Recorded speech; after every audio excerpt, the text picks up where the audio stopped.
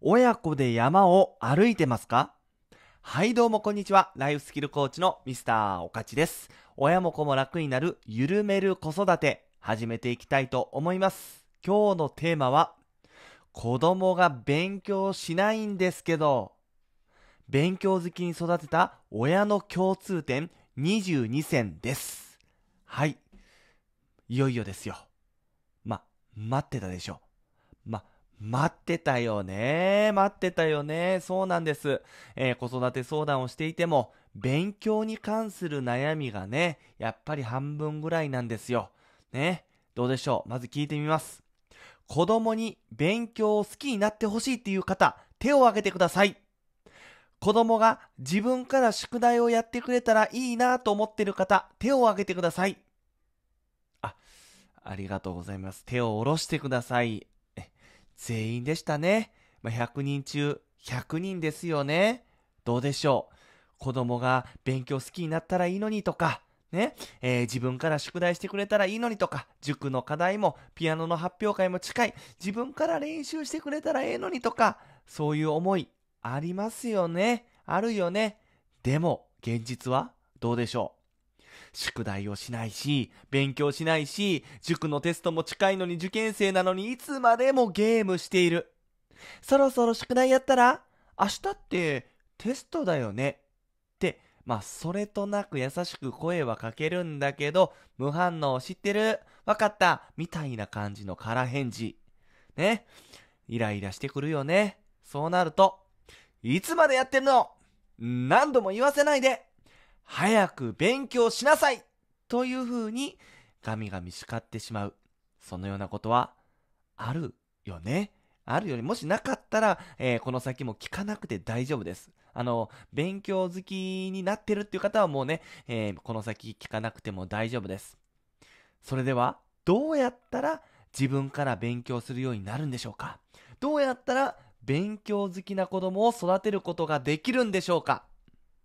今回は僕がね、そのような悩みをたくさん聞いてきて、親御さんに提案してきた中で、効果があった方法とか、親御さんから聞いて、この方法良かったよって、そういう方法を聞いてね、それめっちゃいいやんって思った、えー、関わり方を厳選して、22個紹介していきたいと思います。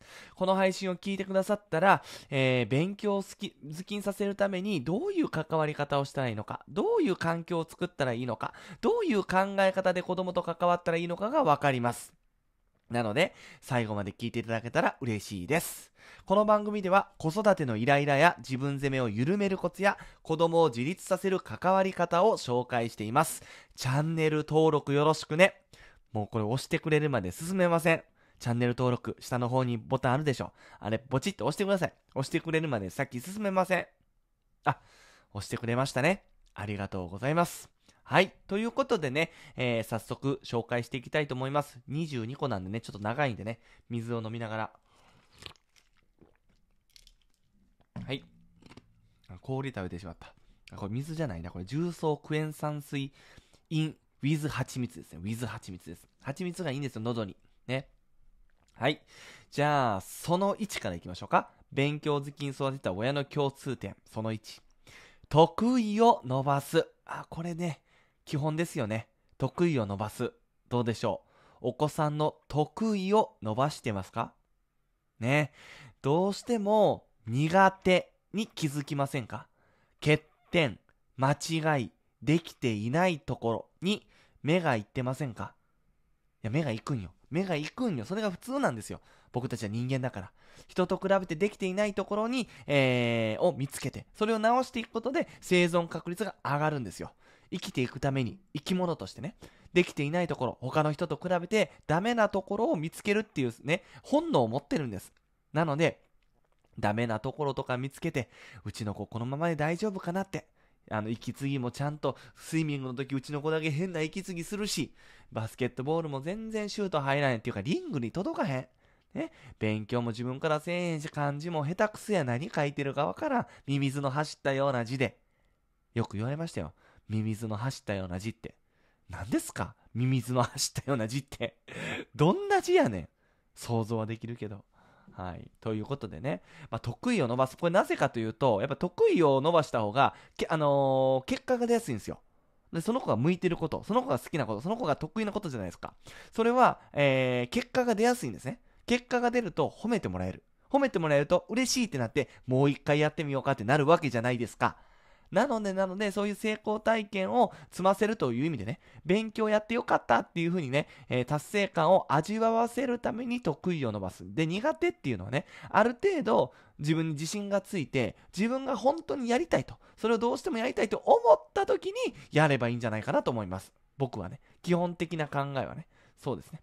それよりもまずは自信をつけさせてあげること。学ぶことって楽しいなっていうことを実感させることが大事なんじゃないかな。そういう意味で、その子の得意なことを伸ばす。はい。これが一つ目ですね。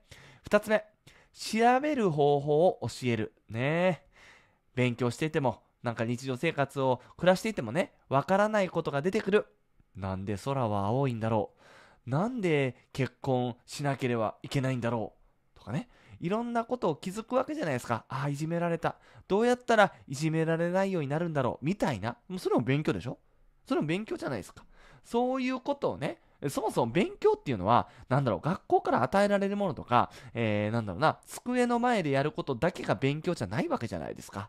生きていく中で、ね、わからないことにぶち当たったり、問題がね、えー、と、向き合ったりした時にね、これどうやって解決するんだろうと。そうやって調べることも勉強ですよね。勉強ですよね。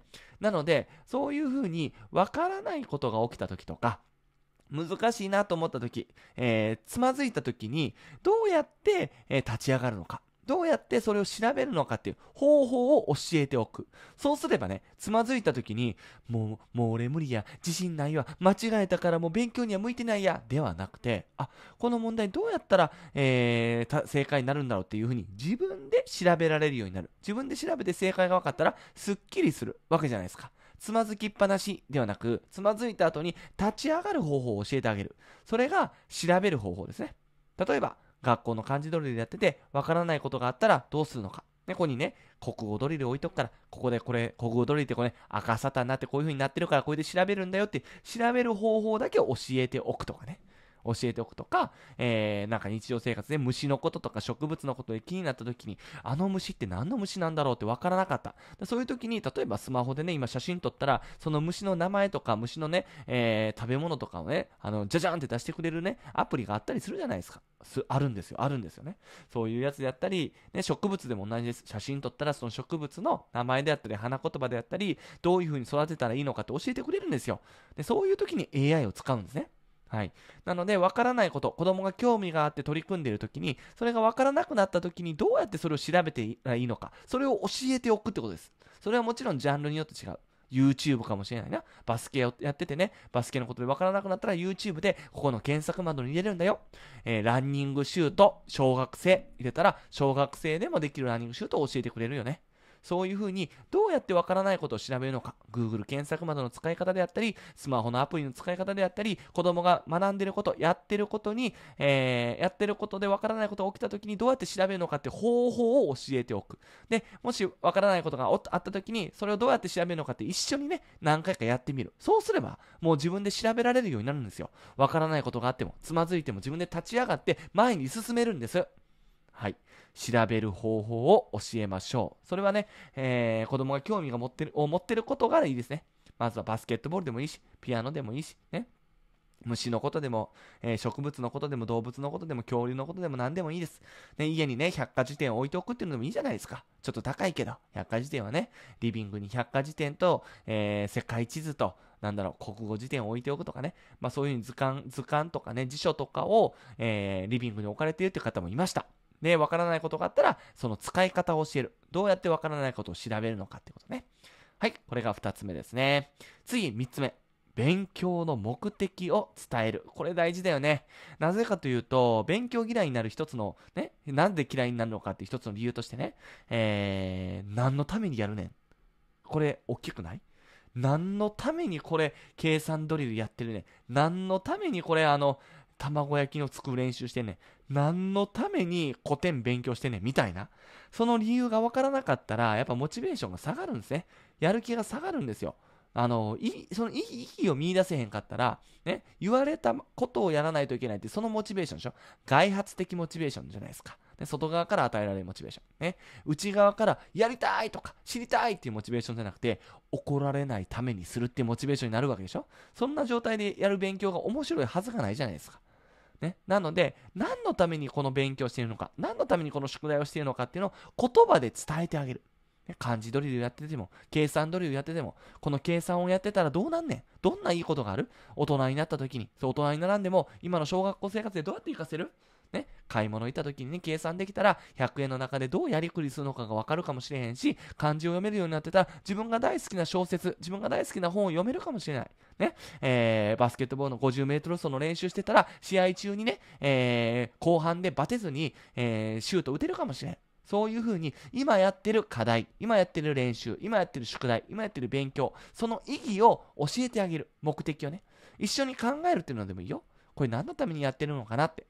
ねそういうふうに子供から引き出していくっていうのももちろんすごく有効だと思います。で、えー、それプラスね、自分はこういう、何のために勉強するのかって自分の言葉で勉強する意義っていうのを伝えるのも大事ですね。これみんなやってるからやりなさいとか、学校から与えられたものやからやりなさいじゃなくて、なんでこれをやらなあかんのと。これやった先にどんないいことがあるのってこと。で、そういう意義があるあるから私もこういう勉強してるんだと。いうこと。ただ言葉で伝えるじゃなくて、伝えるだけじゃなくて、自分自身もこういうふうに勉強してるんだと。その自分自身が勉強してるのは、こうやってね、えー、コミュニケーションを学ぶことで、えー、仕事の中でね、自分が嫌いな人とか合わない人とも上手にやっていく方法を学んでいくであったり、こうやって伝え方、プレゼンテーションを学んでいるのも、お客さんにこの商品のいいところをちゃんと伝えられることができて、そしてこの商品を買ってもらえるため買ってもらうために、こういうプレゼンテーションっていうことを勉強してるんだよって。そうやって自分自身が何で何のために自分自身が勉強しているのか、その意義を伝えてあげる。そして勉強している姿を見せるということよね。これも一番最後のところにも22にもつながってくるんだけど、この勉強の目的を伝えるってこと、すごく大事なことなんじゃないかなと思います。4つ目、勉強したら大いに褒める。ねこれはね、褒めましょう 褒めましょうっていうことね。あの、勉強よ、あの、なんだろう、片付けをしだしたらでもいいですよ。片付けをしだして勉強に、勉強にね、えー、向かっていくその過程の中でね、あ、片付けしてるっていうふうにね、そういうふうに注目してあげるんですよ。注目してあげる。で、勉強してたら、今日も集中してるねって。勉強で、ま、学んだこと教えてねみたいな形で、なんかこう、ちょっとでも勉強してる姿を見かけたら、その都度その都度声をかけてあげる。見てるよってやつね。見てるよって声をかけて、認めてあげる。褒めてあげる。そういうふうに肯定してあげる。そうすればやっぱ単純に嬉しいじゃないですか。ね、見てもらえたって。あ、これやってくれたら褒めてもらえるんだってね。それすごく大事なんですよ。もちろん、褒められるために勉強するっていうね、勉強の目的が褒められるためっていうだけになってしまうとね、それは怖いんですけれども、勉強が習慣化するまでにはね、そうやって褒めてあげて褒めてあげて、とにかく行動させることが大事。行動させる。そして勉強を続けるってこと。夕食の前に勉強するってことを繰り返し繰り返し繰り返しやってたら、それが習慣化する。習慣化したらね、逆にやらなかったら気持ち悪くなるんですよ。はい、そうなんです。だからそこに行くまではもう積極的に関わっていくあげるっていうのはすごく大事なんじゃないかなと。特に低学年のうちはね。はい。これが4つ目です。で、5つ目。まあ、そこにもつながってくるんだけど、リビングで勉強させる。もちろんね、自分の部屋で勉強する方がいいって子もいます。いるんだけど、やっぱりね、見られてる方が 見られてる方がね、やる気が上がる子が多いんですよね。これ観察者効果って心理学でも言われてるんですけど、あのー、僕たち私たちもね、スターバックスとか行ったり、おしゃれなカフェとか行ったり、わざわざそんなとこ行って勉強するわけじゃないですか。仕事するわけでしょ？ちょっとアップルのね、リンゴマークのあのパソコンカチャって開けてね、なんかこう、できる仕事、仕事でできるサラリーマンを装ってね、やるじゃないですか。僕やるんですよ。やってたんですよ。でもね、実際そこうるさいでしょ？ざわざわするし、で、お金もかかるし、わざわざなんでそんなとこでやるねんっていうのは、これまさに観察者効果です。誰かに見られているっていう。それ実際見られてないよ。見られてないんだけど、誰かがいる環境だったら見られてるって意識が持てるでしょ？そういう方がね、あの、はかどるんですよ。もちろんお金を払ってるって効果もあります。お金を払ったから、ちゃんとお金を払った分の効果、効果を出さないといけないっていうね、先払いの効果もあるんです。あるんだけれども、ね、誰かに見られてるっていうのは、やっぱりこう、やる気が上がるんですね。やらなきゃっていうマインドが上がるんですよ。そうそう。やる気っていうのは4つの、えー、ポイントがあるよねっていうのね、この前の YouTube でも話しました。やりたい、やれそう、やらなきゃ、やってよかった。こうこの4つのポイントをうまく刺激させてあげる、刺激してあげることで、勉強が好きになっていくと。や勉強に対するやる気が上がるってことですね。うん、なので、えー、子供が動き出したら、なんかこう、ね、えー、なんとか、見られてるよっていう雰囲気を出す。やらなきゃってやつね。やらなきゃってやつね。うん。それだけじゃなくて、読んでも伝えた通り、褒めてあげる。やってよかったなって。嬉しいなというふうに褒めてあげる。これ大事ですね。そして、6。興味があることを広げる。な、これ大事だね。ね、えー、1のところで言いましたけど、子供ができていないとことか、苦手なところを直そうというふうにね、えー、しがちなんですけど、そうじゃない。興味を持ったところから広げていく。これでいいんですよ。絶対繋がってくるから。たとえそれがバスケットボールでも空手でも、絶対漢字の学習に繋がってくるんですよ。最終的には。それを広げていったら。だって、それはそうじゃないですか。バスケットボール上手くなるためには、やっぱりね、えー、YouTube 見たり、YouTube 見たりね、えー、本を読むことも必要。そうなると読解力が必要じゃないですか。読解力が必要だし、漢字を読むことも必要。で、そういうことをたくさん読んでいるとね、読解力もついてくるじゃないですか。挨拶しないって、挨拶できないってことを悩んでいる。で挨拶をさせるために礼儀をきっちり教える。大事ですよ。それも大事なんだけど、興味があることを広げていったら、自然に挨拶できるようになるんですよ。バスケットボールやってて、挨拶しないと、ね、えー、先輩と喧嘩したとか、ね、挨拶しないと友達と仲悪くなったとか、そもそも先生に教えてもらえない。そう、挨拶とかね、ありがとうって言わなかったら教えてもらえないってことを経験した。じゃあ、バスケットボール上手くなりたいから挨拶しようとか、ね、えー、ありがとうって言おうっていうふうになるんですよ。絶対興味があることを広げていったら、挨拶をするとかしないとか、コミュニケーション能力とか、漢字を学ぶとか、算数とか全部繋がってくるんですよ。繋がってくるんよ。必要になってくるんよ。ね、逆に必要にならないことは、それってやる意味あるんですかってことです。それって本当にやる意味あるんですかってことです。ね、困った時にやればいいじゃないですか。そうまずは好きなことから広げていく。それがたとえゲームであってもね。でもゲームに関しては長い時間続けると依存してしまうんじゃないかとか、視力が悪いんじゃ悪くなる、体に悪いんじゃないかって、そういうこともね、懸念されてる人もいいと思います。でもそれをどう使うかなんですよ。ね。物は使いようなんです。包丁と一緒。包丁も使う人によったらその武器になるけど、使う人によったら、えー、料理を美味しくするツールになるわけじゃないですか。包丁が悪いんじゃなくて、使い方が悪いんですよ。ゲームも一緒。ゲームが悪いんじゃなくて、使い方が悪かったら悪くなるんですよ。ね。さあ、ゲームに興味がある。じゃあその興味あることをどう広げていくかですよ。今日どんなもの作ったんって、マイクラやっててね、あ、こんな建物作ったん。なんでこんなの作ったんだろうって、そこから広げていく。次はどんな図書館作りたいとかね、広げていくんです。じゃあ、図書館に実際見に行ってみようかって。現実世界に降りてみて、写真を見てみて、いろんなマイクラの作品を見てみて、マイクラのプロの人とコミュニケーションしながらね、やっていくと、必然的に自分の苦手なことも改善できるようになってくるから。興味があることを広げる。興味があることからスタートです。親がやってほしいことじゃない。子供が興味があることから広げていく。はい。それでいいんじゃないかなって思います。それが勉強好きにさせる方法ですね。はい。じゃあ、7つ目。勉強嫌いになった原因を探るね。これはの、あのー、子育て教育科の小川大輔先生がよく言われてることなんですけども、ね、勉初めから赤ちゃんになって生まれてからね、最初から勉強が嫌いな子なんかいないよと。最初はこの世界に対して興味津々で興味があったものを触ってみて、そしてたまには、時には口に入れてみて、匂ってみて、しながらね、あ、この世界に対して、えー、ここの世界はこういう風になってるんだっていうその構造であったり、メカニズムを理解していくわけじゃないですか。どんなことにも興味津々で、その中で嫌な経験をしたら、もちろんそれが嫌やなっていうトラウマになってしまうこともあります。なの、なので、ちっちゃいうちは誰もが勉強好きだったんですよ。だけれども、それが大きくなって、何らかの関わり、何らかの経験によって、勉強が嫌いになったってこと。なので、なので、過去を探ること。なこの子は、どのようなことがきっかけで、どのような経験をすることで、勉強が嫌いになったのかなって、ここを探ること。で、それを一つ一つ点検して見つめ直していくことことなんですよ。その関わり方をね。これなんですよ、根本的にはね。勉強が嫌いになったのは、あの、お兄ちゃんと比べてしまったからだとか、小学校受験によって、こう受験、受験で勉強好きにしてしまったからだとかね、えー、勉強しなさい、勉強しなさいってせかしてしまったからだって、何らかのあるんですよ、原因が。それを探っていって、それを一つ一つやめていくということです。はい。あのー、子育てに正解はないんですけども、勉強が嫌いになった原因はあるんですよ。その原因を一つ一つ改めていくことで、勉強嫌いっていうところがね、えー、緩んでいくんじゃないかなと思います。どうでしょうか？あなたのお子さんが勉強が嫌いになったきっかけは何ですか？はい。それをちょっと読み解いていきましょう。で、それでね、えー、学校が悪いとかね、自分にはコントロールできないところでね、原因が出てくることもあるんです。ね、えー、学校で、あの、生徒の中で競争させられたとかね、えー、塾でね、なんだろうな、えー、え順位付けさせられて、お前はバカだって言われたとかね。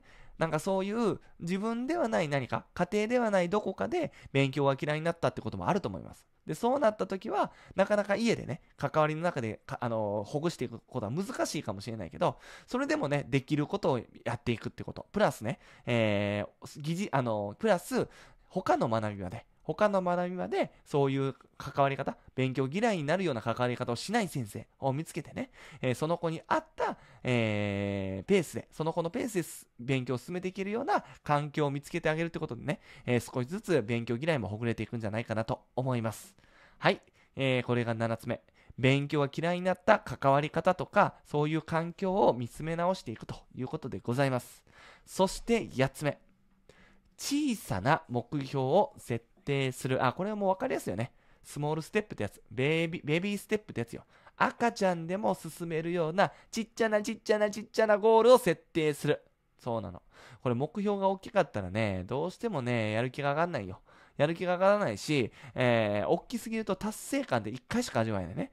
うん、例えば42.195キロを、じゃあ、えー、40日間かけて走るって。なった時に、40日に1回しか達成感を味わえない。でもね、えー、毎日100メートル走るって言ったら、ね、100メートル走った瞬間、毎日毎日達成した、頑張った、できたっていう達成感を味わえるわけじゃないですか。その達成感がもう一回やってみようっていう次の行動につながるんですよ。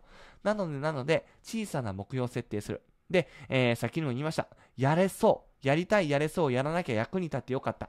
ね、役に立ちそう。そこら辺をね、やってよかったかな。そこら辺に火をつけてあげることで子供のやる気は上がる。これは、えー、やれそうとであったり、えー、やれそうっていうところにまず火をつけるね。あ、これぐらいの目標やったらできるわ。漢字ドリル10ページは難しいけど、1ページやったらできるわ。できるんだったらやってみようってなるわけでしょ。小刻みにその子ができるような目標を設定するし、えー、できれば一緒に、えー、どれぐらいができそうって聞いてあげて、えー、その日の目標を立てるっていうのも大事かもしれませんね。はい。9。スマホを学習に活用する。まあ別にスマホじゃなくてもいいんですよ。要は、その子その子の学習タイプに合った、えー、学び方をやろうねってこと。ね。もちろん、こう書いて覚えるのが好きな子もいます。漢字ドリルとか計算ドリル。あれが楽しいっていう子もいます。でも、あれが合わない子もいるんですよ。合わない子に、そのやり方を、や、そのやり方を押し付けていくと、どんどんどんどん勉強が嫌いになっていくわけじゃないですか。いや別に計算ドリルをやること、漢字をドリルをやることはこれ手段なわけであって、ゴールは計算を覚えることかもしれないし、えー、漢字を覚えることかもしれない。そうよね。ってなった時に、学ぶ手段はね、何でもいいわけじゃないですか。スマホでもタブレットでも、もしかしたらゲームでもいいわけでしょそういうね、えー、勉強のゲームもあるかもしれない。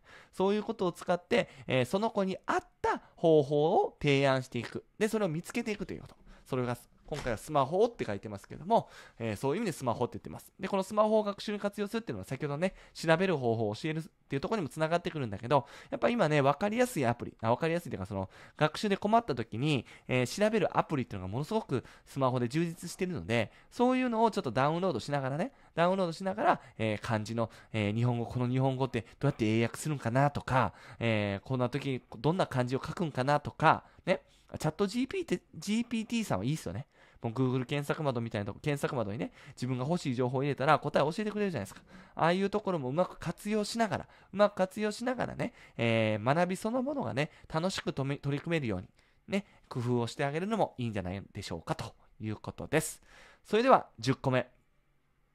家族の中で勉強の時間があるあ、これ大事よね。大事よね。あのー、ね。まあ、例えば朝起きた時でもいいし、えー、夜ご飯食べた後とかでもいいから、家族の中で、まあ、えー、一緒に勉強する時間があってもいいよ。スタディタイムって作っといて、今から15分は自分が好きなことを学ぶ時間に当てる。でもゲームは禁止よと。ゲーム以外でね、好きなことを学ぶ時間に当てると。で、お父さんは、えー、今ね、これやってる株の勉強をする。で、お母さんは、じゃあ料理の勉強をする。あなたはどんなことを勉強するの？と、ね、いうふうにやって、えー、朝活をするっていうことをやられている家庭もありましたし、ご飯を食べた後、なんだろうな、一緒に勉強する時間を取る。まあ、読書タイムでもいいじゃないですか。読書をする時間でもいいし、勉強する時間を取るということ。で、そのルールっていうのもどんなことでもいいですよ。えー、やあまず、スタディタイムの前に今日は15分こんなこと勉強するって宣言してから始めるとかでもいいし、まあ別に宣言してもしなくてもいい。やり方は自由です。15分でもいいし、30分でもいいし、毎日決まった時間に家族全員で勉強する時間を作るということ。これもね、えー、勉強の習慣化させるためにはすごく大事なことなんじゃないかなと。で、勉強しなさい、勉強しなさいってただ言うだけじゃなくて、親も勉強しているというふうにね、一緒に勉強しているというところを見せるということ、そして一緒にするということ、これはすごく大事なことなんじゃないかなと思います。11細かい計画を一緒に立てる。うーんね。えー、これ大事だよね。夏休みとか長期のね、えー、休暇になったり、えー、塾から与えられた宿題、まあ、塾のね、スケジュールとかもあると思います。毎月復習テストがあるから、それに合わせて宿題をするとか、毎週このテキストを提出するとかね、まあそういう塾からね、えー、定められた、えー、スケジュールもあると思う。あると思うけれども、それが子供に合うかどうかはわからない。から、えー、実際子供とね、一緒に相談しながら計画を立てるっていうのもすごく大事なんじゃないかなと。低学年のうちは特にね、夏休み前に、ね、こんだけ宿題あるなという中でね、じゃあ、どういうふうにこれをやっていこうかと。いうことをね、一緒に計画を立てる。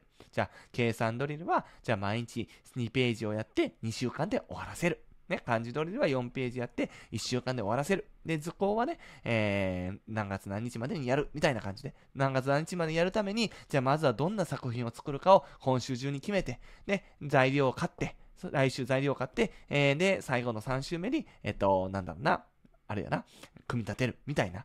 いう風に計画を一緒に立てる。で、これ立てるときにね、子供と相談するとかいいよね。で、これ計画を立てても、これを絶対守らないといけないってことではないからね、と。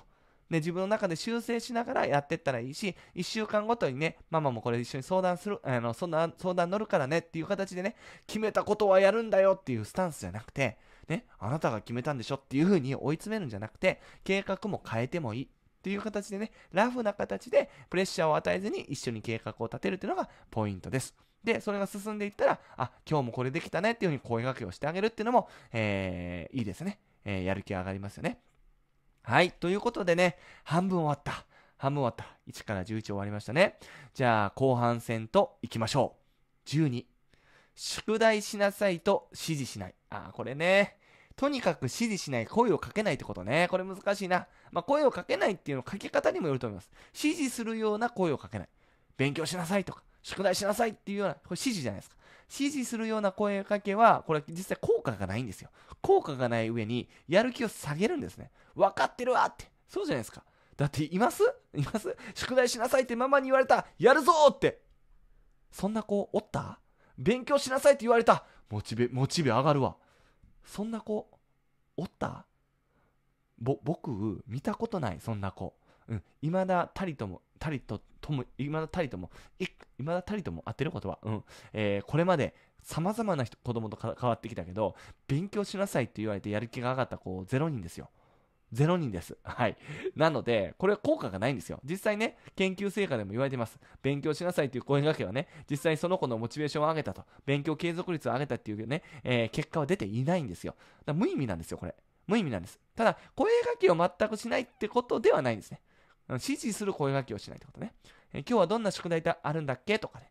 とか、えー、何分まで、何時までゲームするの？とか、ね。そういうふうな問いかけのような質問はいいですね。問いかけのような質問ね。はい。13。1日5分子供の生徒になる。これは、やり抜くこと投げ出すことの習慣という本にも書いてるやつですね。まあ、その本はね、子供の非認知能力、いわゆる自己肯定感とか、やる気であったり、えー、失敗から立ち上がる力、コミュニケーション能力、そういう、えー、子供の将来の学歴とか幸福度とか年収に大きく影響する非認知能力をどうやって高めるのかってね、えー、50個の行動習慣、親の関わり方を紹介してるんですけど、そこの一つに、一つの項目としてこれ挙げてますね。1日5分子供の生徒になる。そしてその本の紹介は概要欄あるから、買ってね。概要欄あるからね。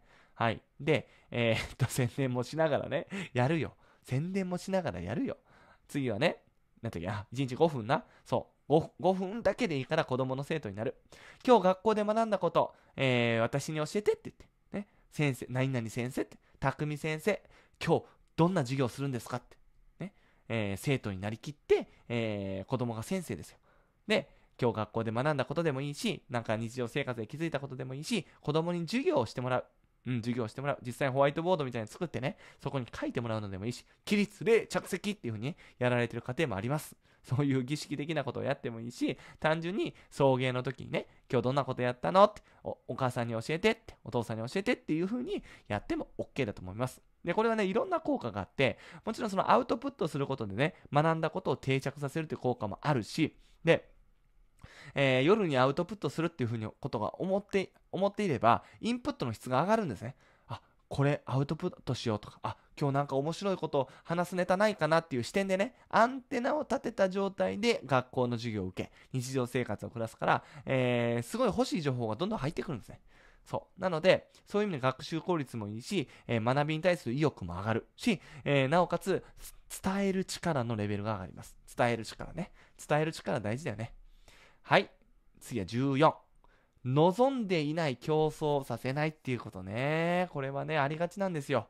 自分がその競争したしたいって言ってないのに、いつの間にか誰かと比べられたり、順位をつけられたり、ね、えー、っと、あの、あとちょっとで10位になれるよみたいなこと言われたいね。いや別に、10位、1位になりたい、10位になりたいわけじゃないし、競争で勝ちたいわけじゃないんだけど、いつの間にか人と比べられて、いつの間にかその競争で勝たないといけないっていうようなレールに乗せられてしまうってこと。それによって勉強が嫌いになるんですね。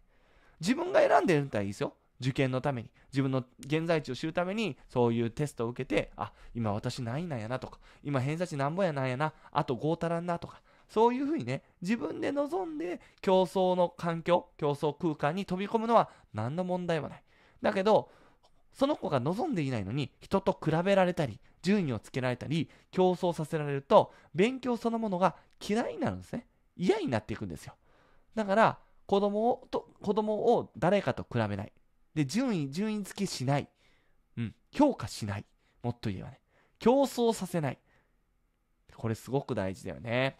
学校の中に入れられるといつの間にか順位をつけられたりね。まあもちろん時には必要ですよ。テストとか受けるのも必要やし、学習をね。あくまでもテストっていうのは一番になるためじゃなくて、自分がどれだけ学習しているのかっていうのを確認するためにするものでしょ。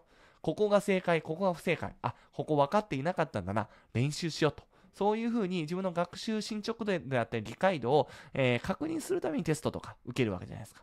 一番になるためじゃないんですよ。ね、もちろん一番になるために競争するっていう人はいてもいいんですよ。でも、自分がそれを望んでないのに、いつの間にか人と比べられたり、順位をつけられたり、もうすぐで志望校合格だねみたいなこと、志望校に近づくねみたいなこと言われても、いやいや、別に僕はそのそこの中学に行きたくないし、別に僕は一番になりたくないんですけど、となっちゃうでしょただでも親が望んでいると、なんかそうならないといけないんじゃないかって思ってしまうわけじゃないですか。なので、なので、子供が望んでいないのに人と比べない。順位付けしない。競争させないということ。これが14でございます。そして15。志望校のイベントに参加させる。はい、ちょっと飲みますね。はい。まあ、これはね、別に志望校だけじゃなくてもいいんですけど、まあ、例えばね、えー、受験生なのに勉強しないとか、えー、受験、受験に合格したいとは言うんだけど、いまいち本腰入れて勉強しないんだよねっていう方、そういう方もね、そういう相談も受けます。そういう子がいるって相談も受けます。受けるんだけど、それは、やすその勉強した先に、どんないいことがあるのかっていうのをイメージさせること、これすごく大事なんですね。イメージさせることで、あ、そんないい学校なんだったらどうしても行きたいってなるわけでしょ？どうしても行きたいってなったら、今、じゃあそのためにやる勉強をやるぞってなるわけじゃないですか。そういうことですなんですよ。今やってるその先に希望を作るということ。そのために、この勉強した先にどうなるのかっていうことを体験させる。中学受験であったら、その自分が行きたい志望校にね、見学を行くとか、その志望校に通ってるお兄ちゃんお姉ちゃんの話を聞いてみるとかね、そこを体験すると、あ、僕この中学に行きたいってなるでしょ？別にこれ勉強だけのことじゃないですよ。サッカーでもピアノでも何でも一緒です。今このピアノを練習した先にどんな演奏ができるのかなって。ね、年齢が近いこのね、えー、コンサートに遊びに行ってみるとか、ね、えー、バスケットボールの試合、プロの試合見に行ってみるとか、あ、あんな上手くなりたいとか、あんな上手に演奏したいとか、なればね、なれば、じゃあ練習しようとか、なるわけじゃないですか。努力しようってなるわけでしょ勉強しようって。ね。なので、今やってるその先を明確にイメージさせるために、現場に連れていくってことです。一言で言うね。それを具体化したのが志望校のイベントに参加させる。抽象化すると、現場に連れていく。ね、コンサートを見に行くとか、本物に触れさせるとか、一流と、えー、一流のなんか授業を受けさせるとかね、そういうことも含めてね、現場を体験する。で、五感がし、五感をね、刺激するようなね、えー、環境、体験をすればね、やってみたいってなるから、なるからね。はい。16。タイマーで勉強時間を記録する。んこれね、めちゃめちゃ手軽やけど、めちゃくちゃ効果あるよね。うん、別にタイマーでもいいし、砂時計でもいいよ。で、タイマーやったら、あのー、デジタルよりアナログがいいよね。あの、実感タイマーって調べたら出てきます。あの、2、3000円するんだけどね。アナログで勉強用に、まあ、勉強用じゃないんだけど、子供でも時間の感覚を覚えられる、身につけられるように設計された、えー、時計があるんですよ。実感タイマー。ね。これで、あの、今、残り時間何分かなって見ながらね、えー、漢字ドリルができたり、計算ドリルができたりします。残り3分で何問解けるかなみたいな形でね、じゃあ3分間集中してみようみたいな。これ時間を測るだけでね、全然学習効率も変わるんですよ。やる気も変わるんですね。なので、これをちょっと子供がお気に入りの時計の方がいいかもしれんな。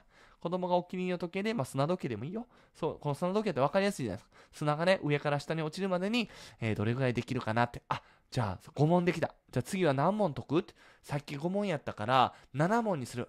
じゃあやってみようか。じゃあ行くよ。レディーゴーみたいな感じでね。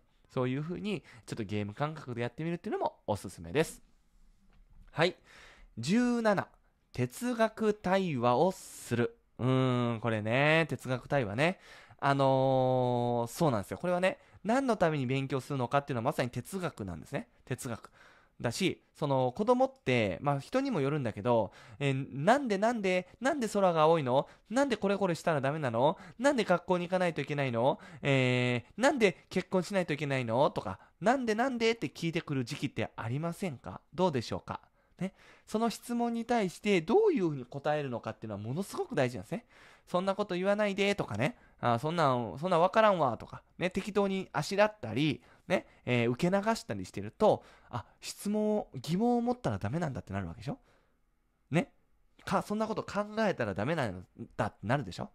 でも待ってください。疑問を持つことは、そこに興味を持ったからじゃないですか。いわゆる子供の好奇心なんですよ。そこの好奇心を掘っていったら子供の才能があるんですよ。才能を殺すことになるんですよ。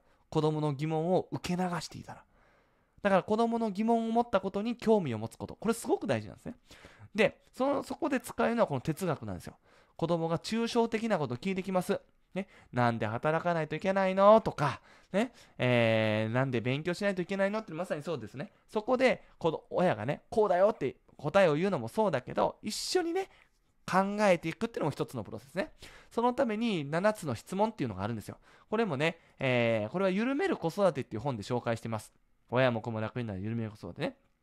哲学者の道具箱っていうことで、ね、ことことで、ハワイの小学校でね、哲学の授業をやってるんだけど、その時にね、先生が子供たちに投げかける7つの質問ってあるんですよ。ね、この質問を投げかけることで、えー、物事を深く深く考える力が、えー、高まり、そして自分の中にある興味を発掘することができ、自分が納得できる答えを導き出せるようになる。いわゆる考える力と伝える力、そして自分がやりたいことを見つける力を育むことができるということ。すごく有用なツールやね。これちょっと紹介するね。簡単に言うよ。7つの質問ね。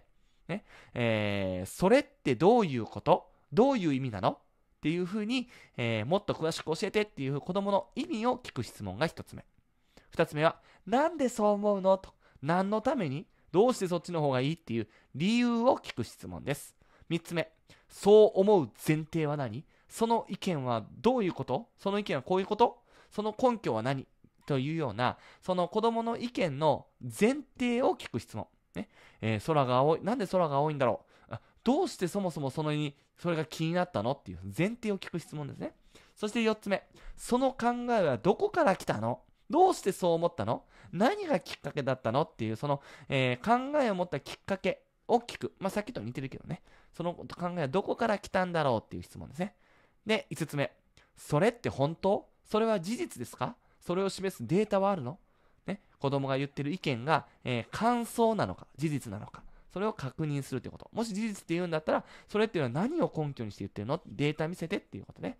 あのー、事実かどうかを確認する質問ですね。6つ目。例えばどういうこと？具体例ありますか？例えばこんな時があるよって伝える。具体例を聞く質問。で、最後、反論ですね。でもさ、こんな例もあるけど、こんな場合はどう？みたいな形。こういうふうな7つの質問を問いかけることで、子供が言った意見がさらにさらに深まっていくし、子供は考える機会ができて、もっと調べてみよう、もっと考えてみようってなるんですよね。子供が疑問を持ったことに関心を持つ。そのために7つの質問を問いかける。まあ7ついっぱいあったけど、ね、えー、まあシンプルに言えば3つ。なんでそう思うの？っていうこと。であったり、例えばどういうこと？っていうこと。これが2つ目。で、3つ目は、こんな例もあるけど、こんな場合はどうっていうふうに反論するということ。まあ、この3つあたりをね、えー、使っていくといいんじゃないかなと思います。それでは、次行きましょうか。次は、18ですね。困るまで放っておく。ねえ、これ何回も聞いてるよね、おかちからね。あのー、困らせないようにするのではなく、えー、困るまで待つんですよ。困ってからやったらええやんってやつです。これ毎回出てくるんちゃうかっていう思うぐらいね、やってるやつです。あのー、ね、困らないように困らないようにと、できることは全部やってあげたい。ね、母親として、父親として、より良い環境を子供に与えてあげたい。っていうふうに思って当然なんですね。当然なんです。そう、そうなればなるほど、子供に与える教育になっちゃうんですね。与える教育ね。となると子供は動かないんですよ。自分が動かずとも与えられるから。うん。そってなると受動的になって指示待ちになるんですね。お口をパクパクしてたら楽しい世界を、えー、持ってきてくれるっていわゆるひな鳥みたいな感じ親鳥がね、ご飯を持ってきてくれるわけじゃないですか。もちろんそういう時期があってもいいんです。でもそれをずっと続けていたら、自分で何が楽しいんだろうっていうのを見つけるってことであったり、自分でどうやったらできるんだろうっていう考える余白の時間がなくなったりするんですね。そういう余白の時間がなくなったり、自分から動き出す力が育っていなかったら、まさに動かないんです。指示待ちになってしまうということ。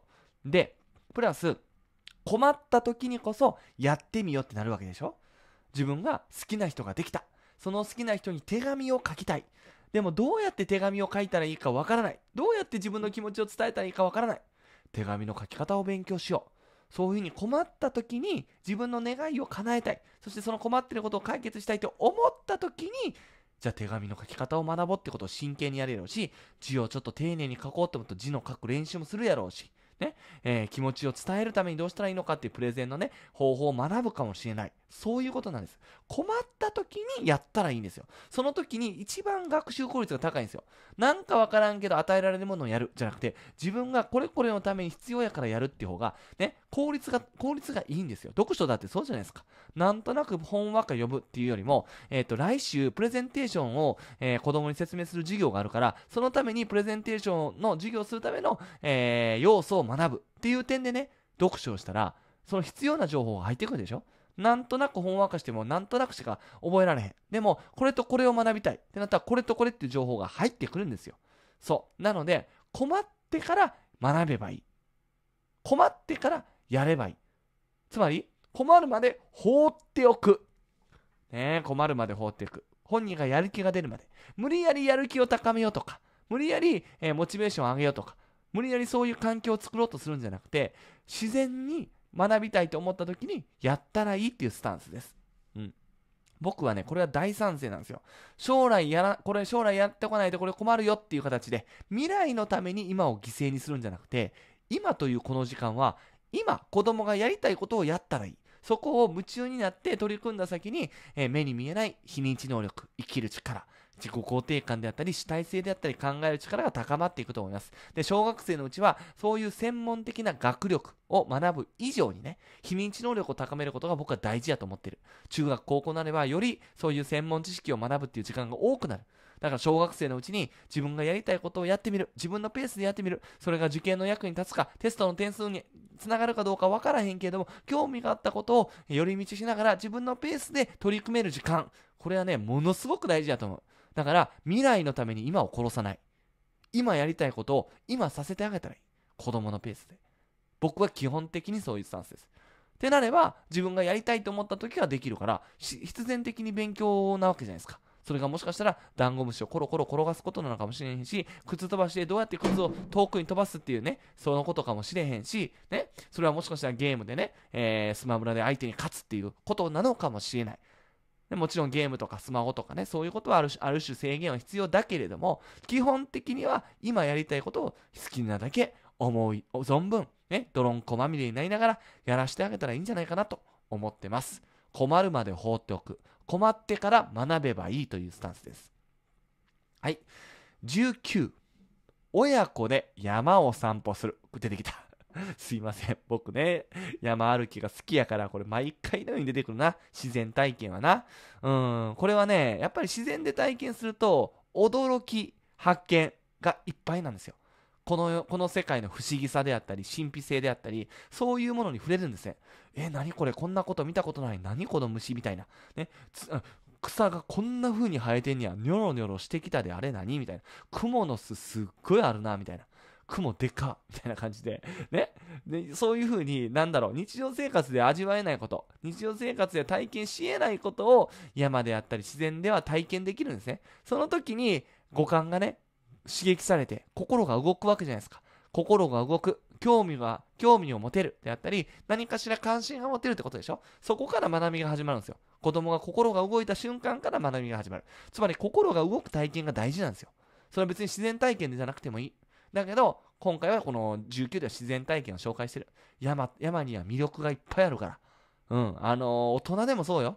山歩いてください。近くのハイキングコース。低山でいいです。200メートル級の。昨日もおかち90メートルの山登ってきました。90メートルでバカにしてたけど、90メートルのこの坂がすごかった。ああの、ゆっくり90メートルじゃなくて、なんだろう、すごい傾斜の強い90メートルやった。だからめっちゃ疲れたよ。で、しかも、なんだろう、落ち葉が、落ち葉がね、うわってこういっぱい落ちてたから、めっちゃ滑るし、大変やった、とにかく。はい。親子で山を散歩する。で、なんか面白いものがあったら、スマホで写真撮ろっか、みたいなことで、写真撮ってね、美しいものであったり、面白いものを写真で撮って、後でそれをね、シェアする。ね、えー、どんなん撮ったん？って言って、あ、これ何やった？んみたいな感じでシェアすると、それはそれで面白いですね。ねお互いが興味を持ったことっていうのがわかるし、親子のコミュニケーションにもつながるし、子供が興味を持ったことに親が関心を持つと、子供は嬉しいですよね。嬉しいですよね。はい。親子で山歩き、ぜひやってみてください。20。ねもういよいよあと3つになりました。20です。好きなことにはまらせる。ねこれももう、これまで散々言ってきましたけど、あのー、とにかく好きなことをやらせたらいいんですよ。好きなこと。好きなことがないんやったら山歩きしましょう。山歩きしましょう。はい。山歩きだけで見つからへんけど、山歩き、自然体験っていうのは一つのね、きっかけになると思います。山歩き。ね。で、好きなことにはまらせる。このハマる体験、没入体験だったり、没頭体験と言われるんですけど、やっぱこの体験ってものすごく大事なんですね。この体験の中で物事をどういうふうに学んでいくのかであったり、集中力を身につくし、ね、自分で考えて自分で行動するっていう力も高まっていく。だって自分がやりたいことなんだから、自分が知りたいことなんだから、自分が面白いこと、でもっともっとね、えー、身につけたい、もっともっと高めたいと思ってることなんだから、それがバスケでも野球でもピアノでも、ね、えー、口飛ばしでもいいじゃないですか。お団子を作るってことでもね、どんなことでもいいんです。とにかく好きなことにはまらせる。そこにはまった体験、そこで学んだことは、絶対どこかに繋がってくるから。ね。道を深めれば深めるほど、あらゆる道につながってくるんですよ。つながってくるんですよ。ね。わざわざ子供が興味ないこと、苦手なことをさせなくてもいい。好きなことにはまらせる。好きなことにはまらせる。はまらせる中で集中力を身につけさせたり、わからないことをどうやって調べるのかって。それを調べる方法、ね、えー、であったり、自分で計画を立てて行動していく。そういうね、学習の基礎を、この好きなことにはまらせるっていう中でね、身につけさせてあげれば、それって結局どんなことにも応用できるんで。英語でも、漢字でも、ね、えー、どんな仕事でも。なので、とにかく好きなことにはまらせる。で、いつでもやめてもいいよってスタンス。ここ難しいね。あんだけ勉強して、あんだけお金使ったのに、やめたいって言ってる。もったいな。わかります。だけど、そこで学んだことは無駄にはなってないから。あらゆる道につながってるから。目に見えない力、非認知能力が高まってるから。そう、目に見えないところにフォーカスしてください。目に見えるとこだけじゃない。目に見えないとこです。ね。集中力とか、ね。自分で計画を立てるとか、友達とのコミュニケーションとか、そういうところにも目を当ててあげて、えー、好きなことにとことんはまらせる。そして、やめたくなったらやめてもええでってスタンス。はい。21。オリジナルノートを作成する。これはね、おかちが勉強が好きになった一番大きな理由かもしれんな。うん。僕はね、教科ごとに作ってたんですよ。算数の岡、岡大テキスト、岡助テキストやったかな。ちょっと名前は、あの、テキストの名前とか作ってね、あのー、自分が興味がも、興味を持った問題であったり、間違えた問題っていうのをね、あの、ちょきちょきって紙で、あの、ハサミで切って、糊で貼り付けて、自分の問題集、自分のオリジナルのテキストを作ってたんですよ。それがね、結構楽しかった。めんどくさかったよ。めんどくさかったんだけど、あの、楽しかったよね。で、楽しかったし、で間違った問題をね、集めていくって算数はそれをやってたんですけど、そうすると算数の点数も上がるんですね。うん、だそのテキストを見ればあの自分の同じ間違いを繰り返すことがなくなるわけじゃないですか。そうするとあの必然的に点数は上がっていったんですね。上がっていったからまたやりたいというやる気も上がっていったしとにかくオリジナルノートを作成する。子供あの自由帳でもいいんですよ。別に算数は算数ここはここじゃなくても勉強じゃなくてもいいんですよ、ね、とにかくノートを買ってあげる。ここのノートにあなたがなんか学んだこととか分かったこと発見したことっていうのをとにかく書いてって。で月に1回自由研究って形で発表しようってね発表する機会を作ってもいいしオリジナルノート。すいません。あのすいません。今あのゲップ出ちゃいました。聞こえちゃった？すいません。あのオリジナルノートを作成する。これねすごく大事だと思います。あの大事やし効果的でした。僕の場合はね。はい。えー、炭酸飲んだらダメですね。炭酸出たらこう、えずいちゃいますね。はい。えー、これ見せてあげたいわ。おかっちが作った、あの、小学校、小学校の時に作ったね、おかすけテキスト。その作っててね、えー、家に置いてたらね、弟も同じことやってたから。岡拓テキスト。うん、岡崎拓郎って名前でね、やってたから。うん。弟は字が綺麗やからめっちゃ見やすい。おかっちの全然見えへん。で、最初の方はね、あの、問題も自分で書いてたんよ。あの最後ら辺になって書くのめんどくさくなったから、ハサミで切って糊で貼り付けてたんやけど、最初は問題も書いてて、その問題も何書いてるか分かんない。今は。当時は分かったんかもしれないけど、今何書いてるか分からへん。はい。えー、22。これ最後ですね。学びは楽しいと親が見せる。ああ、これすごく大事。ねえ、そもそも学び、学ぶことって楽しいんだよねって。別にテストの点数を上げるため、受験に合格するために、だけに勉強するんじゃなくて、一番になるためだけに勉強するんじゃなくて、学ぶことそれってそのものが楽しいよね。わからないことがわかるであったり、この植物ってなんて、なんて植物なんだろうってね。あ、く、なんだろうな、あの、く、雲、雲が出てきた。この雲めっちゃでかいけど、この雲は何を食べるんやろうとかね。自分が興味を持ったことを調べる。で、それが分かった。これものすごく嬉しい体験じゃないですか。それをね、親自身が体験してるところ、それを見せるんですよ。ね、別に仕事のことでもいいですよ。僕でもね、なんだろう、YouTube やってるじゃないですか。YouTube どうやったらチャンネル登録が、ね、増えるんだろうって。それをね、勉強するんですよ。勉強して、あ、こうやったらチャンネル登録増えるんか。あ、サムネイル大事なんだなとか、最初の5、5分が大事なんだな。いや、むしろ最初の8秒で掴まないと、もう離脱するんだなとか、そういうことを学んで楽しいっていう姿を子供に見せてると、あ、なんだなんだ、そうやって勉強って楽しいものなんだ。自分がやりたいことを叶えるために勉強があって、勉強すればなんか楽しい体験もできるし、自分がやりたいことが叶う、欲しいものも手に入る。そのために勉強はあるんだ。勉強って大事だなっていうことを実感できるわけじゃないですか。言って聞かせるんじゃなくて、やってみせるということ。自分の生き方でそれを示していくということ。これがね、やっぱ大事ですね。その生き方で示しつつ、言葉がけをしていく。ここを一致させるってことね。ここを一致させる。それが、やっぱりすごく大事やなと思思いますので、僕のママもね、ものすごい勉強してたんですよ。勉強。あのー、結構パートでね、職業を転々としてたので、その都度ね、覚えないといけないことがいっぱいあったみたいで。で、パソコンとか触れなかったんですよ、当時。で、僕が大学時代ぐらいの時かな、パソコンがね、えー、うちの、うちにもの、あの、うちにパソコンが、えー、来たのは、それぐらいだったんですけど、要はパソコンが普及したての頃でね、あのー、やっぱそれまで手書きやったのが、パソコンに変わったってことで、もうずっと勉強してたんですよ、母が。参考書買ってねそういう姿を見てたからあ勉強って大事なんだなとか勉強することは仕事に活かせるんだなとかそういうことを学べたしなんか楽しそうだなって思えたから僕も勉強したいって思えたし、ね、それはすごく学びは楽しいなって親が見せるのは大事なことなんじゃないかなと思います。で、そもそもね、僕はね、勉強はね、そんなに嫌いじゃなかったんですよ。僕自身は。いや、でもね、正直嫌いじゃなかったけど、勉強よりももっと楽しいことがあるなと思ってた。なので、中学受験の行くための勉強はもう死ぬものぐらいでやったよ。まあ、楽しい、楽しくないっていう次元ではなかったな。それはもう、やらざるを得ない状況でもあった。まあ、学校で、小学校でいじめられてたから、このメンバーと一緒にはもう過ごしたくないっていう思いもあったし、まあ、あのね、中学受験合格せえへんかったら、僕の人生終わりやっていうふうに思ってたから。本当に思ってたから、もう死に物狂いで勉強してましたよ。楽しい、楽しくないっていうことじゃなかった。だけど、そんなに嫌ではなかったね。塾の先生も説明がうまかったし、えー、勉強したらするほど塾の点数は上がっていくし、学校の授業も簡単に思えるしね。学校では、まあ、ちょっとチヤホヤされるし。でもチヤ、チヤホヤされるのはいじめられる前ですよ。それを自慢するようになってからいじめられたんですけどね、僕は。はい。そうそう。先生にもいじるんですよ。その先生、そのやり方違うって言ったり、先生が問題出してたら、先に答えを言ってしまうやついるでしょ？あれでした、僕。うん。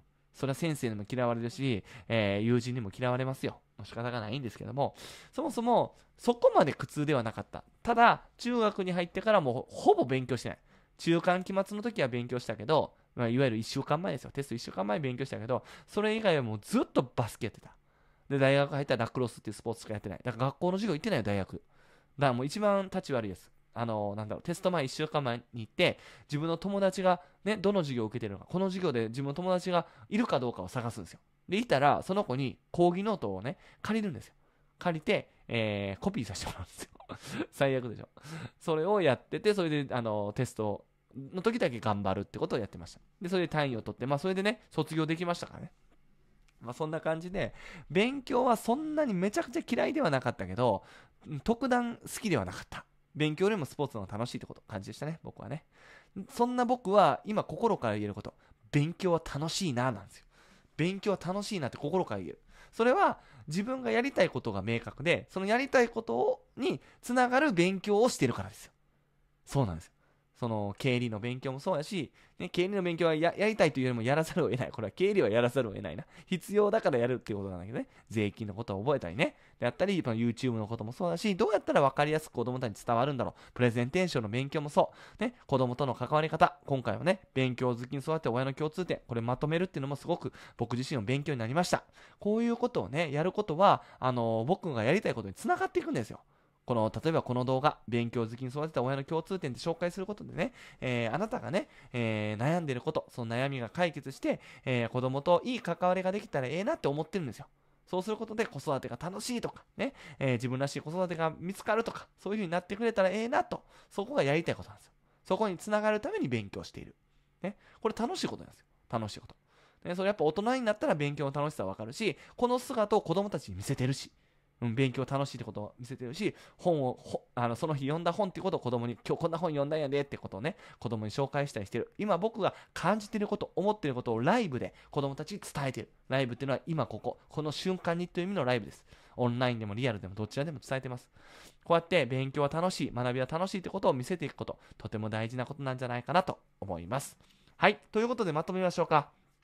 今日は勉強好きに育てた親の共通点22。ね、えー、僕自身が、えー、大学院で学んだこと含めてね、実際に親御さんと関わる中でこんなことをしたらいい、あんなことがししたらいいよっていうことで、効果があった手法であったり、えー、親御さんがね、から聞いて、あ、そのやり方ええなって思ったことを厳選して22個紹介してます。まあ、得意を伸ばすってことであったり、リビングで勉強させるってことであったりね、えー、細かい計画を一緒に立てるってこともそうやった。勉強しなさいとか宿題しなさいっていうのは、そんな効果がないよねっていうこと。ね、であったり、タイマーとか砂時計を使いながらね、え勉強時間を記録する。これ記録するっていうのは、今ここを記録するだけじゃなくて、その日何分勉強したかっていうのを記録していくっていうのもいいですね。今日は15分。ね、えー、昨日は25分。一昨日は30分。っていうふうに自分がどれだけやったのか分かったら、あ、じゃあ今日も勉強しようかってなるわけじゃないですか。ここまで勉強したことを無駄にしたくないっていう、そういう効果が働くわけでしょ。そういう意味でも記録するっていうのもおすすめですね。で、えー、親子で山を、山を歩きをしたり、好きなことにはまらせる。そして学びは楽しいという親が見せる。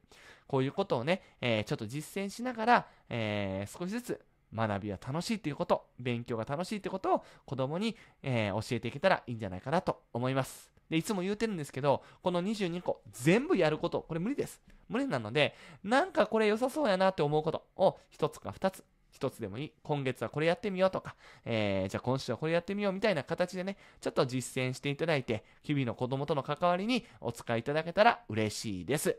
で、えー、今日の配信聞いて、なんか少しでも参考になったなとか、共感できるポイントがあれば、高評価ボタンお待ちしてます。あとね、えー、自分が子供との関わりでね、こういう方法良かったよと、こういうふうに声掛けして、こういう関わりをしたら、えー、子供が勉強好きになったよっていうのがあればね、コメントお待ちしてます。で、皆さんでそのコメントを見ながらね、えー、勉強していきましょう。はい。ということでね、えー、この番組では、親も子も楽になる、緩める子育てをテーマに、子育てのイライライライラや、自分責めを緩めるコツや、子供の非認知能力を高める関わり方を紹介しています。えー、よかったら、チャンネル登録ボタンを押してくれたら大変励みになりますのでよろしくお願いします。えー、ここのね、番組では結構長尺です。作業しながらラジオ感覚で聞いていただくということをね、えー、ちょっとコンセプトにやってます。皆さんの時間を奪いたくないから。ね、あの、耳は開いてるでしょ？その時に聞いていただけたらええなという形でやってますので、えー、これ再生リストがあるから、緩める子育てラジオ、再生リストを開いていただいたらもうすでに6本7本あるでしょ？それをもうずっと流しながらね、やっていただいたらずっとこう聞けると思いますので、えー、お時間ある時にこちらを使っていただけたら、聞いていただけたら嬉しいです。あとね、おかち公式 LINE もやってます。